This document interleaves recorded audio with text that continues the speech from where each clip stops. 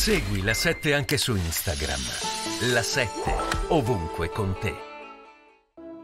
Il 7 agosto il vicepresidente del Consiglio Matteo Salvini annunciò che il governo aveva approvato un prelievo sugli extra profitti delle banche, definendolo una misura di equità sociale. Il leader della Lega disse che il fisco avrebbe incassato alcuni miliardi da utilizzare per il taglio delle tasse e per venire in soccorso di chi non poteva più pagare il mutuo per la prima casa.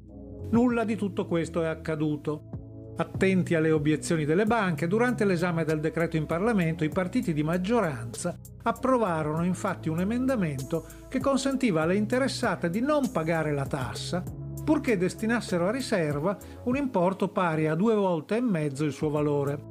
Le banche potevano decidere in sostanza se rafforzare il proprio patrimonio o quello dello Stato. Inutile dire che tutte le banche, nessuna esclusa, hanno scelto la prima opzione. E così, nonostante in questi giorni gli istituti di credito abbiano presentato relazioni trimestrali con profitti miliardari, grazie all'aumento dei tassi, nessuno di loro ha destinato un euro aggiuntivo allo Stato. Neppure il Monte dei Paschi di Siena, che pure è controllato dal Ministero dell'Economia. Osservatori neutrali giudicano questa vicenda farsesca.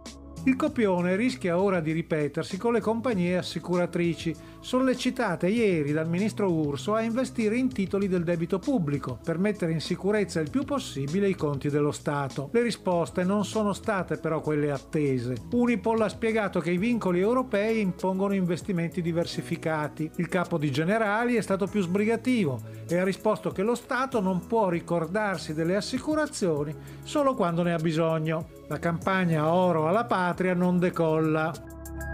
Siamo in chiusura.